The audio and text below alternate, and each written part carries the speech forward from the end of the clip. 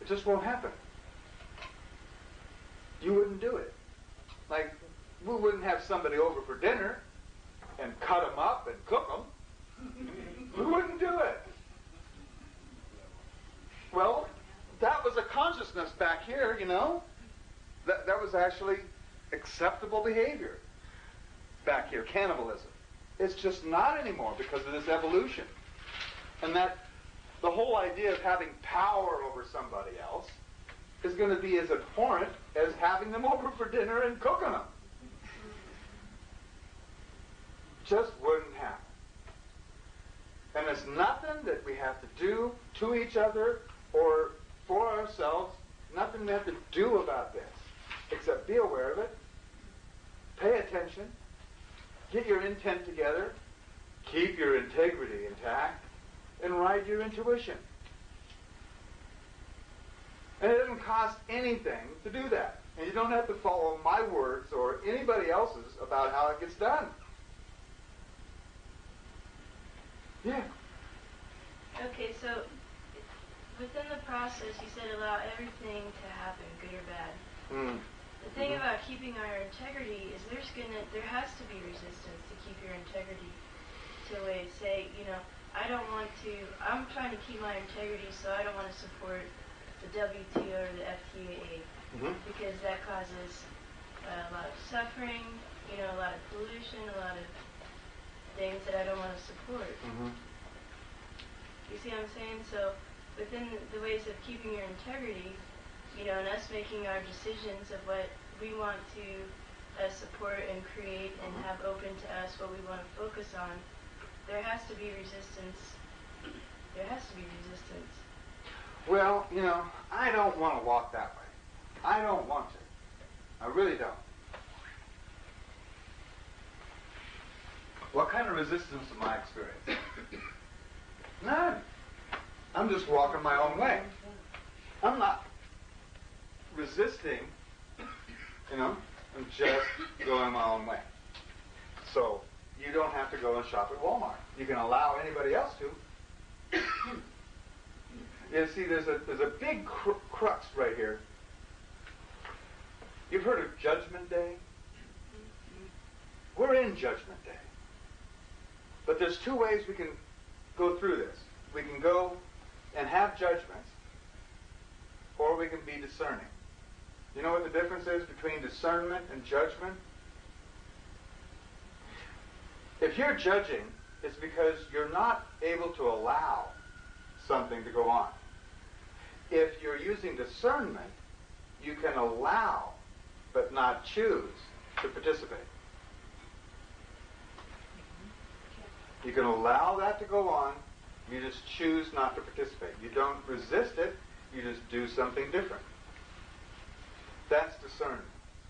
Judgment is, you can't do that, you're guilty, and we're going to make you pay for it. Kind of like what Gandhi did in India. Yeah, mm-hmm. right. Nonviolence. Yes, sir.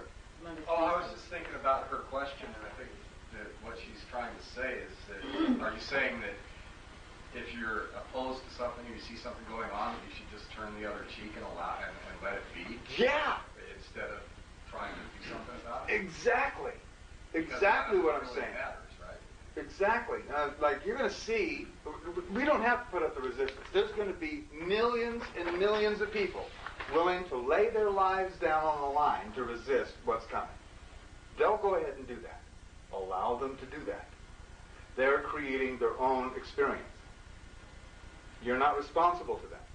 So if you take that to the extreme, it's almost like saying if you see a guy about to fall off a cliff, you shouldn't help him. Can you? You know, could you? But, I mean, I, I wouldn't say, I mean, uh, no, I don't see that. Uh, if a person wants to jump off the cliff, I'll let them jump. Right. Yeah. But if they're falling, uh, I think I try to help them.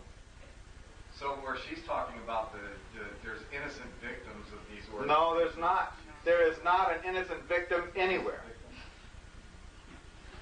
There are no victims anywhere. There's only people who create themselves as victims. We're only creators. We just only create.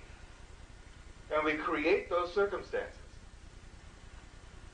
There are people in Iraq right now suffering greatly. Why? Because they didn't choose to leave. Or they chose to go there. We didn't. That's the difference.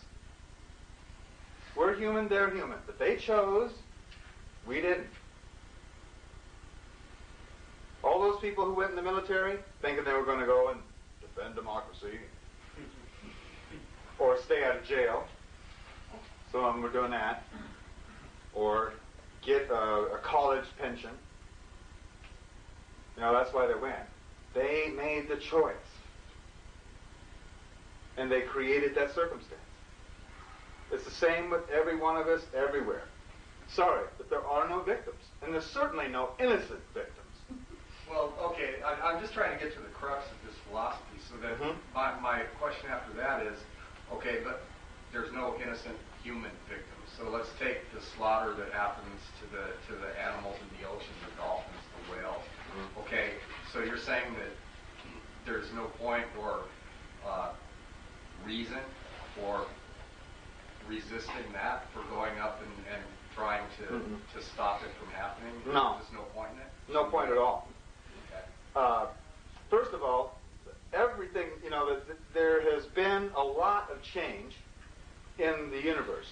On this planet, what we experience as the flora and fauna on this planet right now is 1% of what has been here and gone extinct.